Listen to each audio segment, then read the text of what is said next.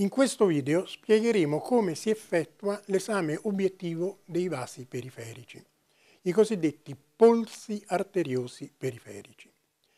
Va premesso comunque che questo esame, che pure è fondamentale nella diagnostica che ogni medico deve saper condurre, è superato da una semiotica cosiddetta strumentale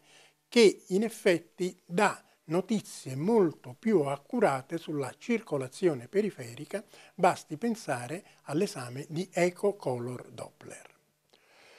Gli antichi semeiologi avevano già da tempo utilizzato la palpazione dei polsi periferici per ricavarne notizie sia dell'attività del cuore sia dello stato di perfusione periferico del nostro corpo e avevano dato alla rilevazione del polso alcune caratteristiche che andiamo ad illustrare anche se sono ben note. Cioè il polso si apprezza nel polso, quello diciamo che maggiormente mm, si prende in esame è il polso radiale che si vede qui alla base della testa del, del radio, prima dell'articolazione con il carpo e diciamo che si apprezzano varie eh, diciamo, attributi. Innanzitutto la frequenza, che altro non è che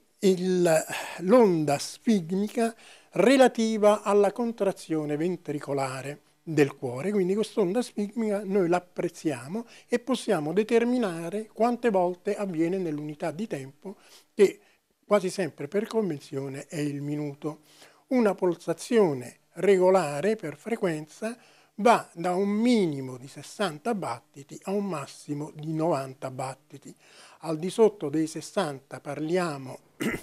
di una bradicardia, al di sopra dei 90 parliamo di una tachicardia.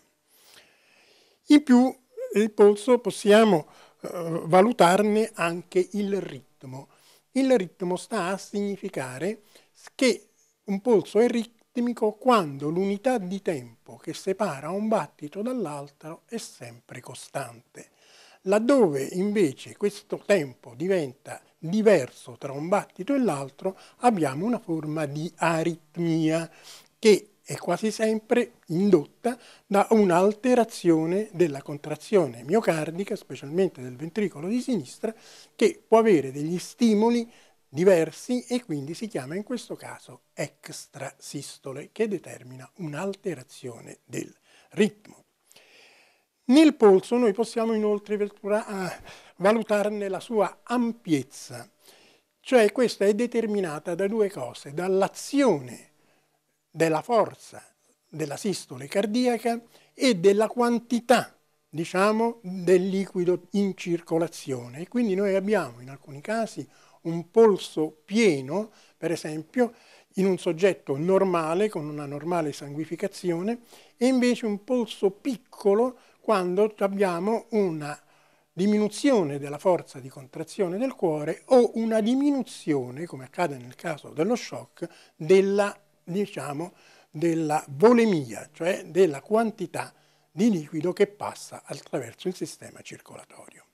Altra cosa importante poi è la uguaglianza, nel senso che si palpano a questo punto entrambi i polsi per vedere se sono sincroni o vi è una differenza della pulsatilità tra un'arteria radiale e l'altra. In realtà gli antichi semiologi aggiungevano anche altre caratteristiche al polso, quali la tensione,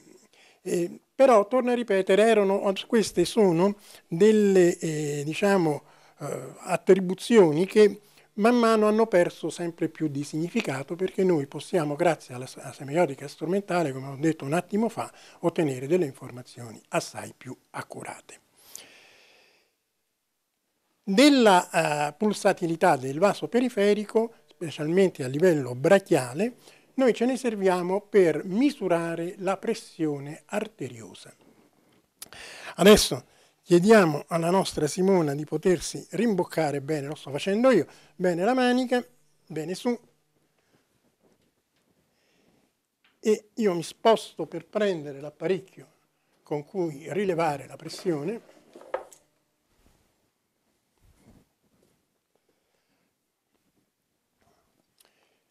La cosa avviene mettendo un bracciale al cui interno vi è una camera d'aria che si gonfia, io circondo la parte alta del braccio di Simona con il bracciale,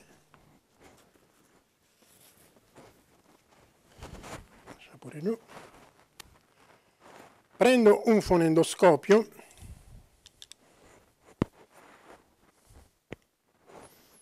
lo applico sull'arteria brachiale, in corrispondenza dell'arteria brachiale, e dopo comincio a gonfiare il bracciale.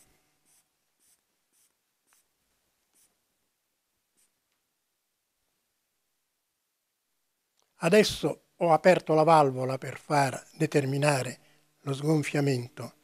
della camera d'aria.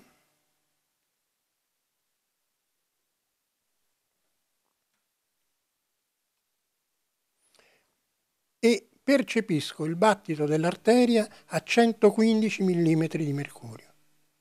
e smetto di percepirlo a 70 mm di mercurio.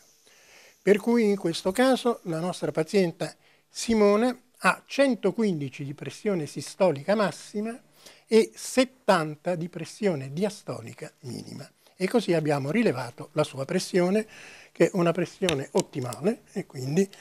sicuramente non deve avere, nutrire alcun problema per ciò che riguarda la sua pressione che è normale. Il polso carotideo si percepisce facendo ruotare il viso della persona dalla parte opposta a quella della carotide che si vuole palpare e la si sente immediatamente lungo diciamo, il margine del muscolo sternocleidomassoideo, che sarebbe questo, nel margine interno noi tranquillamente palpiamo il polso della carotide comune. Lo palpiamo da una parte e lo palpiamo dall'altra parte. Esatto. Benissimo. Poi, scendendo, in teoria ci sarebbe da valutare un polso su clavio che comunque quasi mai si riesce a percepire, quindi procediamo con quelli di più facile rilevabilità, come il polso brachiale alla piega del gomito, del polso radiale già ne abbiamo parlato, e scendendo verso gli arti inferiori, il primo che si indaga alla piega, della, alla radice della coscia, alla piega inguinale, è quasi in una linea al di sotto del legamento inguinale, diciamo, fra il, i due terzi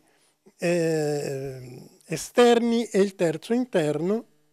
a questo punto si sente benissimo l'arteria femorale. Scendendo lungo l'arto inferiore, noi vedremo,